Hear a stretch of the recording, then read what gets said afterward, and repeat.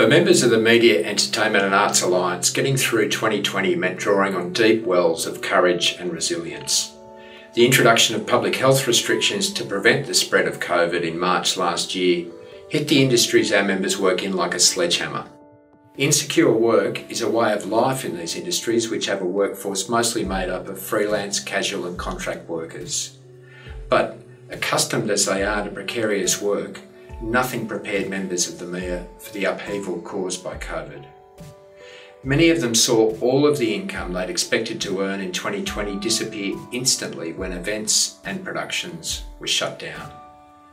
Not only were the arts, events and entertainment sectors among the hardest hit by the pandemic because of the very nature of being events where large crowds congregate, but they will be among the last to recover.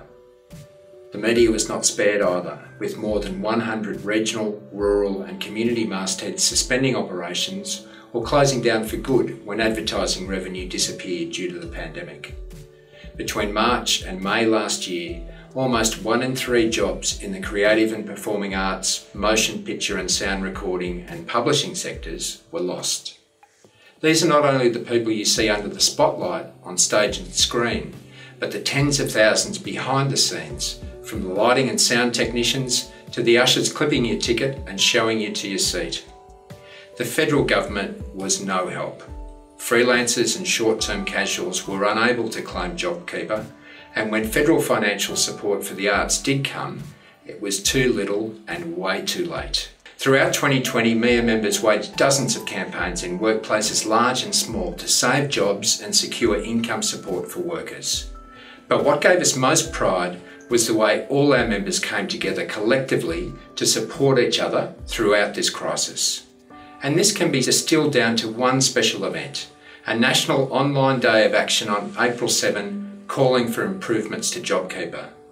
That day our members created more than 300 self-filmed videos that reached hundreds of thousands of Australians and generated thousands and thousands of emails to MPs and senators.